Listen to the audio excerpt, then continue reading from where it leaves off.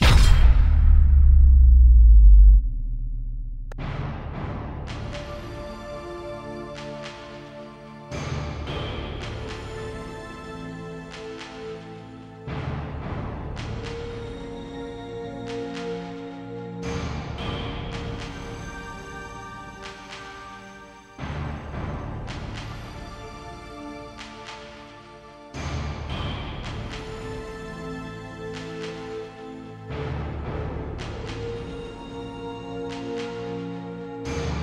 এই মুহূর্তে আমরা রয়েছি দেউলপুর বউবাজার।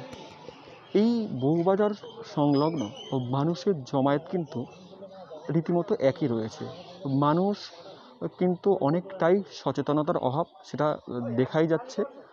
মানুষ নিত্য প্রয়োজনীয় যেভাবে সামগ্রী নিতে বাইরে বের হয়, সেইভাবেই বেরিয়েছে। সেই চিত্রই আমরা দেখতে পাচ্ছি। একদিকে দেখা যাচ্ছে আমাদের দেশে আক্রান্তের সংখ্যা লাফিয়ে লাফিয়ে বাড়ছে।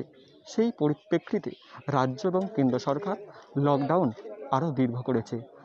তিরিশে এপ্রিল পর্যন্ত বাড়িয়ে সময় লকডাউন করেছে। সেই দিকে লক্ষ্য দিয়ে কিন্তু মানুষ কিন্তু একেবারেই সচেতন নয়। মানুষ অবাধে ঘুরে বেড়াচ্ছে। মানুষের সচেতনতার অভাব সেটা স্পষ্ট। কী কারণে মানুষ বের হচ্ছে? তো আমরা জেনে নেব। এই বাইরে বেরিয়েছেন গ্যাস ওভেন সারতে দেওয়া ছিল আনতে গেছিলাম। মানে সরকারিভাবে তো লকডাউন বাড়িয়ে দেওয়া হয়েছে। সেই জায়গায় বাইরে বেরোচ্ছে মানে এটা কতটা ঝুঁকিপূর্ণ? সবাই কি মানছে? না না মানাটা অ্যাকচুয়ালি সেটা আলাদা ব্যাপার কিন্তু নিজের ব্যক্তিগতভাবে কতটা ঝুঁকিপূর্ণ মনে হচ্ছে? খুবই প্রচণ্ড হারে। কিন্তু কিছু করার নেই। উপায় থাকলে তো কিছু করার থাকবে না সেই জন্য। বাধ্য হয়েই বেরোতে হচ্ছে আপনার নামটা? সুপর্ণা হাজরা। নির্দেশিকা অগ্রাহ্য করে বের হচ্ছে। তাদের পক্ষে কতটা ঝুঁকিপূর্ণ যারা? মনে হচ্ছে। দেখুন অনেকেই ধরুন এখান থেকে সবজি নিয়ে আমাদের ধুলাগড় ট্রাক টার্মিনালে যাচ্ছে। যেখানে ধরুন শুধু তো আর গ্রামের মানুষ নেই বিভিন্ন জায়গাকার লোক আসছে। অন্যান্য স্টেটেরও মানুষ আসছে। কিন্তু তারা সেরমভাবে সচেতন নয়। এবং তাদের ঘরে বলা সত্ত্বেও তারা ব্যাপারটা খুব মানে কি বলব খুব ক্যাজুয়ালভাবে নিচ্ছে। আর এই বাজারের পরিস্থিতি কেমন? এই বাজারের পরিস্থিতি খুব খারাপ। যদি বলেন যে মানুষ মানে সচেতন নয় তবে আরও ভালো হয়। মানে আপনারা আপনারা ব্যক্তিগতভাবে বলতে চাইছেন যে প্রশাসন আরও কঠোর হোক হ্যাঁ কঠোর হোক মানুষকে আরও সচেতন করুক। মানে- বা যদি প্রশাসন দিনে একবার করে হলেও রাউন্ড রাউন্ড দেয় তাহলে মানুষ অনেকটা সচেতন হয় আপনার আমার নাম প্রদীপ এই মুহূর্তে আমরা রয়েছি বউবাজারে যেখানে বাজার চলছে। সেই বাজারের একজন ব্যবসায়ীকে পেয়েছি যিনি নিজে থেকে অনেকটাই সচেতন হয়েছেন। সরকারি যে নির্দেশ জমায়েত থেকে নিজেকে সরিয়ে রাখা অর্থাৎ নির্দিষ্ট দূরত্ব বজায় রাখা সেই দূরত্ব বজায় রেখে নিজে সরিয়ে এসছে বাজার থেকে।